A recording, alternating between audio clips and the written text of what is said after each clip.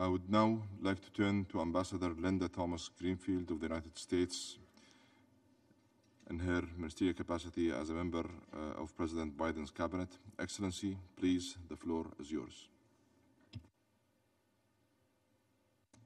Thank you very much. Uh, thank you, Dr. Sultan Al and thank you to UAE uh, for your leadership in convening today's discussion on climate finance for peace and security. This is an extraordinarily uh, relevant and important discussion for us to have today.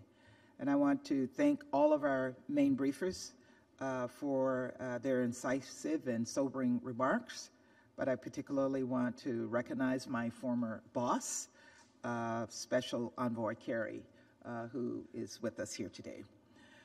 The global crisis is the greatest existential threat facing our world today. Complacency is no longer an option. The crisis is already here. And let me be clear climate change is not only an environmental threat, it is also a national security threat and a health security threat. Climate change exacerbates existing conflicts and increases the chances of new ones. It is a major driver of migration and displacement, and the reverse is true also. The environment is yet another victim of war. Attacks can lead to water, soil, and land contamination or release pollutants into the air. This can lead to a vicious cycle of environmental damage caused by war and war exacerbated by environmental damage. And this is a cycle that we must break. Of course, as Special Envoy Kerry stated, we cannot talk about the environment and security without reflecting on the consequences of Russia's premeditated, unprovoked, and unjustified war of choice against the people of Ukraine. The damage to the environment and subsequent cost of cleanup could be enormous. Russia's brazen attack on and in the vicinity of Ukraine's nuclear power plants threaten the safety and the security of all. Last week, the world spoke. 141 nations voted to condemn Russia's unconscionable actions. Russia is isolated and alone. Relevant to this Arria subject, Russia's actions against Ukraine and the actions that President Biden and our allies are taking to stand up to Russia's war are resulting in the world moving away from Russia as a fossil fuel exporter.